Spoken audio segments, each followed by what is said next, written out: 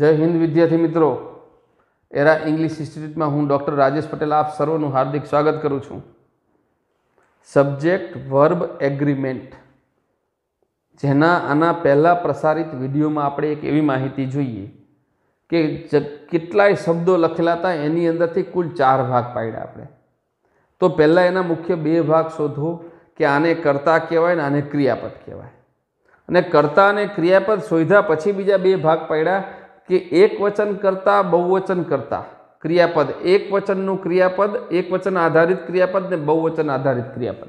ચાર ભાગ પાડ્યા. ત્યાર પછી ફરીથી એક વખત આ વિડીયોનું ટાઇટલ થશે subject, verb, agreement, primary knowledge. હજી પ્રાઇમરી નોલેજ છે. હજી કોઈ રૂલ્સ અને રેગ્યુલેશન નથી. Primary knowledge part two. હજી પ્રાઇમરી નોલેજ છે. તો આ પ્રાઇમરી નોલેજ એટલે શું આનું? તો જે પ્રાથમિક કે જેના સાથે નીતિ નિયમ નથી, પરંતુ લગભગ અંગ્રેજી ભાષા ભણનાર અને આવડનાર પાસે આટલું જ્ઞાન તો હોવું જરૂરી છે. એને એટલે માટે આપણે ભાગ. ગઈ વખતે તમને ઓળખ શીખવાડી અને આજે પ્રાઇમરી નોલેજ પાર્ટ ટુમાં હું તમને પ્રાથમિક જ્ઞાન આપીશ કે કયા કર્તા સાથે, કયા સબ્જેક્ટ સાથે કયું ક્રિયાપદ હોવું જોઈએ. તો બાજુમાં સરસ મજાના સ્ક્રીનની અંદર તમને એક આખે આખું કોષ્ટક જેવું દેખાય છે. હાથેથી લખેલું. તો બસ, જ્યારે હું બોલતો હશે ત્યારે તમે જોતા પણ હશો કે ઓકે, આ ઘણું બધું આવડે છે. પણ આ આવડવું જ જોઈએ. એટલા માટે અહીંયા દર્શાવેલું છે. આપણને આવડશે જ. આટલું સર્વસામાન્ય છે. એટલું આવડે ત્યાર પછીથી આપણે કોઈ નીતિ નિયમ તરફ જઈ શકીએ.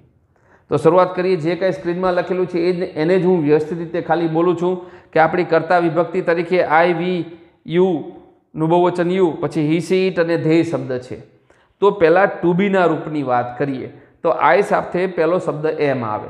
તો આટલા બધા જ શબ્દો સાથે એમ શબ્દ માત્ર ને માત્ર આઈ સાથે આવે છે. તો આઈ સાથે આવતા બીજા શબ્દો કયા? તો એની યાદી તમને સ્ક્રીન ઉપર દેખાય છે.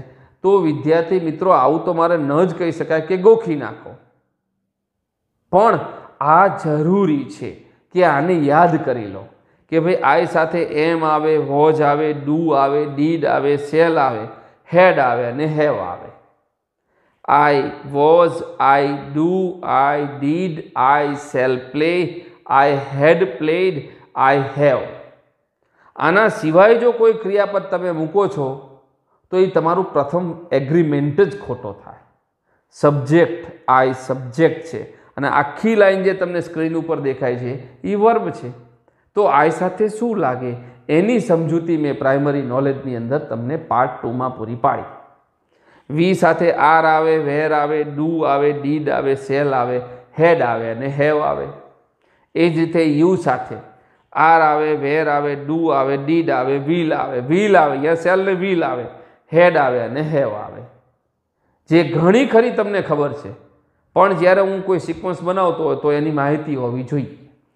હી શબ્દ સાથે એક વચનની શરૂઆત થઈ ગઈ તો ઈ જ આવે વોજ આવે ડઝ આવે, ડીડ આવે વ્હીલ આવે, હેડ આવે ને હેસ આવે.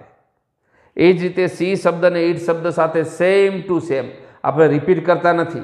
આવડવું મહત્વનું છે. હું કેટલો લાંબો સમય વીડિયો ચલાવવું એ મહત્વ નથી. તો હી હી, સી ઈટ ત્રણેયમાં બધું જ વસ્તુ સેમ છે. કે હી, સી ઈટમાં ઈજ આવે વોજ આવે ડઝ આવે, ડીડ આવે. વ્હીલ આવે હેડ આવે અને હેઝ આવે. He has played he does he did he was આ રીતે આવશે. ત્યાર પછી છેલ્લે ધ્યેય શબ્દ પોતે બહુવચનમાં છે. તો ધ્યેય સાથે આર આવશે, વેર આવશે. પછી ડુ આવશે, પછી ડીડ આવશે. વ્હીલ આવશે હેડ આવશે અને હેવ આવશે. તો વિદ્યાર્થી મિત્રો, હવે આને રિપીટ કરતા નથી. તમે સ્ક્રીનશોટ પાડી લેવાનો. આટલું કોષ્ટક અંગ્રેજીમાં આવડવું જરૂરી જ છે. બારે બાર ટેન્સનું એક્ટિવ અને પેસિવનો આધાર આ કોષ્ટક ઉપર છે.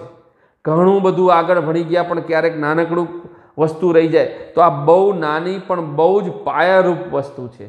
જ્યાં સુધી હી સાથે હેઝની ખબર નહીં પડે, ત્યાં સુધી કાળ ક્યાંથી આવડશે?